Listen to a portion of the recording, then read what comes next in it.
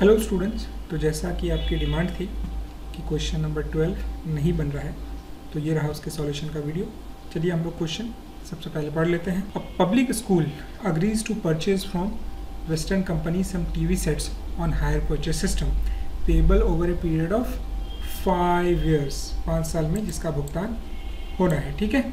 और पाँच साल में इसका भुगतान होना है। By annual instalment of R S ten the western company charges interest at four percent per annum on yearly balances ठीक है?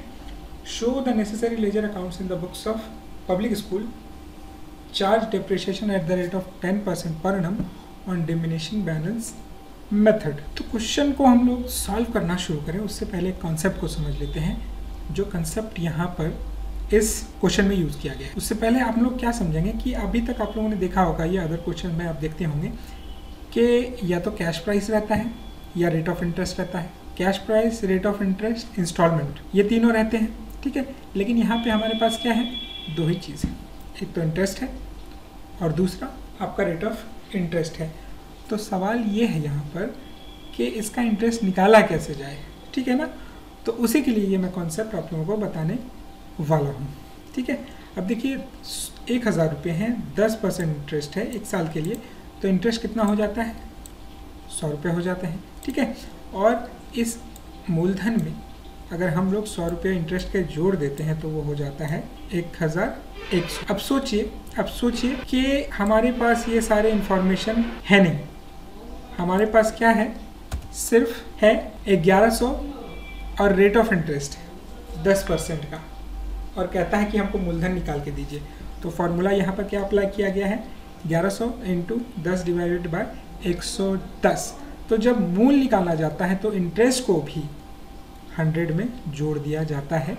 तो आप लोग देख सकते हैं यहाँ पे इसको अगर आप सॉल्व करेंगे तो ये रहा आपका इंटरेस्ट ठीक है? तो अब क्या होता है? अब क्या होता है कि आपको 1100 पता था इंटरेस्ट भी पता चल गया है तो आप मूलधन यहाँ पर निकल गया।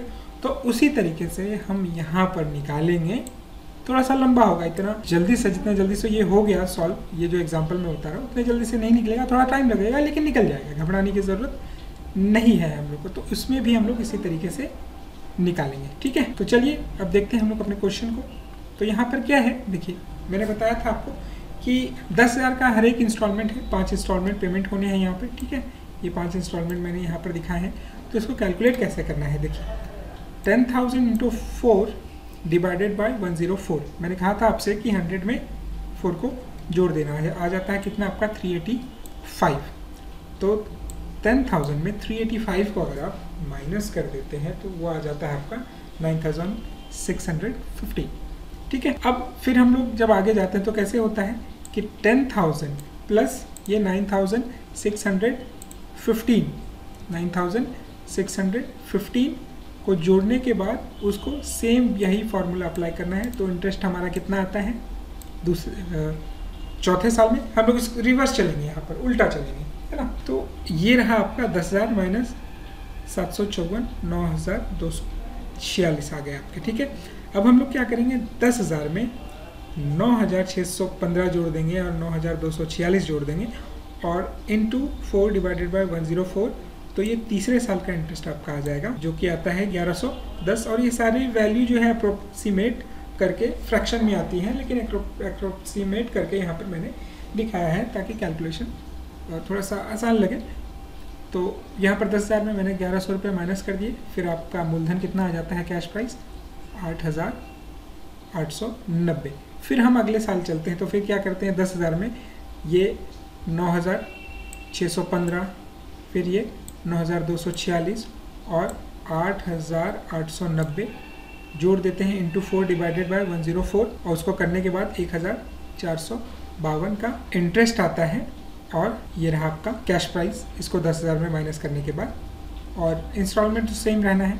उसके बाद जब आखिरी साल में हम लोग आते हैं तो ये सारे इसको दस हज़ार plus this this plus this plus this plus this जोड़ने के बाद हम लोग फिर वही formula into four divided by one zero four कर देते हैं और वो आ जाता है एक हज़ार सात सौ इक्यासी। तो पहले साल का इंटरेस्ट आपका कितना आ गया? एक हज़ार सात सौ इक्यासी, एक हज़ार चार सौ बावन, एक उसके बाद ये ऐसे दूसरे साल, तीसरे साल, चौथे साल, पाँचवें साल में बढ़ता जाता है तो एक हज़ार सात सौ इक्यासी को हम लोग माइनस कर कर देते हैं तो आठ हज़ार दो सौ उन्नीस रुपये आ जाते हैं। टोटल इंटरेस्ट आपका हो गया कितना? पाँच हज़ार आठ सौ बयासी और टोटल मूलधन जो हो गया आपका चौवालीस हज़ार पाँच सौ अठारह हो जाता है। ठीक है ना? तो अब क्या होता है कि अब नेसेसरी अकाउंट्स खोलने के लिए कहेंगे हैं तो चलिए हम लोग नेसेसरी अकाउंट्स खोल देते हैं। In the books of public school western company से लिया गया है, जो कि हायर वेंडर है। पहले वेंडर का खाता खुला है टू बैंक देखिए, पहले क्या ड्यू होगा? आपके टीवी के लिए इतना ड्यू होगा और इंटरेस्ट के लिए इतना ड्यू होगा। दोनों मिला करके दस हज़ार यहाँ पे पेमेंट हो गए पहले साल में। दूसरे साल में फिर वही चीज़ होगी कि आठ हज़ार पाँच सौ अड़तालीस ड्यू हुए, फिर एक हज़ार पाँच चार सौ बावन ड्यू हुए इंटरेस्ट के, और दोनों मिला करके दस हज़ार रुपये यहाँ पेमेंट हो गए। फिर तीसरे साल में आते हैं तो आठ हज़ार आठ सौ नब्बे रुपया टी के लिए ड्यू हुए, एक हज़ार एक सौ दस ड्यू हुए आपके इंटरेस्ट के, और दोनों मिला के दस हज़ार यहाँ पे पेमेंट हो गए।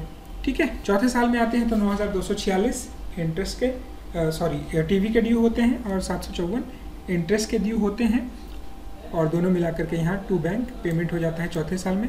फिर आगे जब हम लोग जाते हैं आखिरी साल में तो नौ हज़ार छः सौ पंद्रह टी के लिए पेमेंट होते हैं तीन सौ पचासी। इंटरेस्ट के लिए पेमेंट होते हैं, है ना?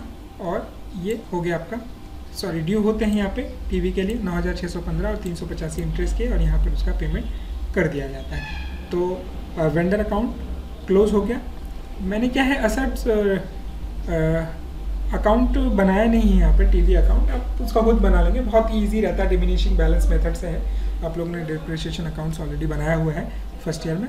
मैं थोड़ा सा इंटरेस्ट अकाउंट में आ जाता हूँ। तो इंटरेस्ट जैसे जब ड्यू हुआ होगा तो किस तरीके से एंट्री की हो, गई होगी? TV account D R interest account D R to western company account ध्यान दीजिएगा। TV account D R interest account D R to western company account तो इंटरेस्ट के नीचे टू वेस्टर्न कंपनी है तो इंटरेस्ट का अमाउंट यहाँ पर लिख दिया गया है। और फिर इंटरेस्ट को हम लोग क्या करते हैं प्रॉफिट एंड लॉस अकाउंट में ट्रांसफ़र करते हैं। कैसे करते हैं? Profit and loss account D R debit करते हैं क्योंकि ये एक एक्सपेंस है। टू इंटरेस्ट अकाउंट तो टू इंटरेस्ट अकाउंट है तो by profit and loss account हम लोगों ने यहाँ पर लिख दिया है। तो उसी तरीके से ये चलता गया है। तो डिप्रेशिएशन अकाउंट फिर यहाँ पर मैंने आ, बना दिया है आपका। जैसा कि कहा गया है एसेट्स अकाउंट आप लोग टीवी का अकाउंट बना लेंगे। तो आपने देखा होगा वैल्यू यहाँ पे कितनी है? आपकी चौवालीस हज़ार पाँच सौ अठारह। उसी का दस परसेंट। दस परसेंट यहाँ पर निकाले गए हैं, जो कि आते हैं आपके चार हज़ार चार सौ बावन। तो इसका एंट्री थोड़ा सा समझ लेते हैं, ताकि आप लोगों को लेजर समझने में आसानी हो। तो हम लोग डिप्रेशिएशन लगाने के टाइम में क्या एंट्री किए होंगे? TV account D R to depreciation account तो डिप्रेशिएशन के नीचे टू है टीवी तो हम लोगों ने टू लिख दिया। उसके बाद हम लोग इसको प्रॉफिट एंड लॉस अकाउंट में ले जाते हैं। तो कैसे ले जाते हैं? इसको हम लोग